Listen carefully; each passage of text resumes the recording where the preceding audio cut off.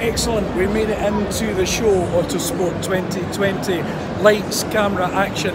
Right, armed with the GoPro on the gimbal, let's see what we can see. Come on. Another thing that I want you to see is when Steve met the girls at Kwik Fit. Hello everybody. steve we're at the wrong place. That's a touring home, not a touring car.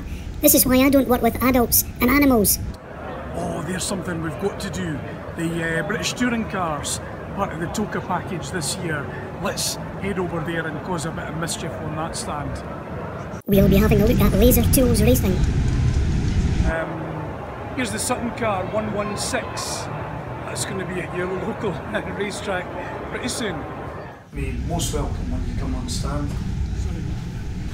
There you go, here's the Tom Ingram car, uh, car number 80. You can come up and get your uh, selfies, your photographs, even autographs sometimes if the guys are on stand. Tom drives with Toyota Gazoo Racing UK with Ginsters. Great to see you by the way and welcome here to the Quick Kwik Fit BTCC stand.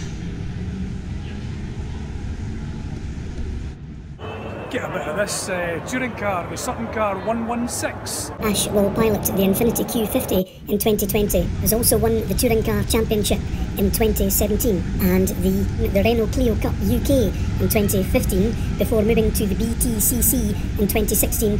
I'll give you some fun facts for his teammate Aiden Moffat in a moment. And don't forget, if you want to get your photographs, your selfies and get them on your social media, send them back to your mates, make them most jealous and envious you can. Aiden Moffat drives the number 16 car.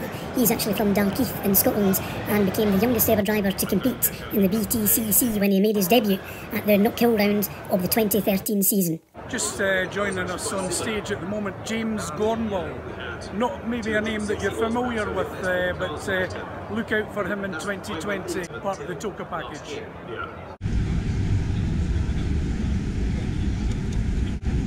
Alright then, just time to give the Infiniti Q50 Laser Tools racing car the once over again.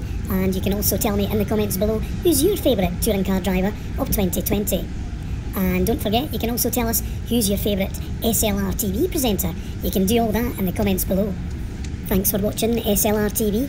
For more automotive action, hit that subscribe button big time. And just before we go, um, you want to see Steve getting photobombed not once, but twice. Anyway, from myself, Gregory Bear, I'll catch you next time on SLR TV. See ya! In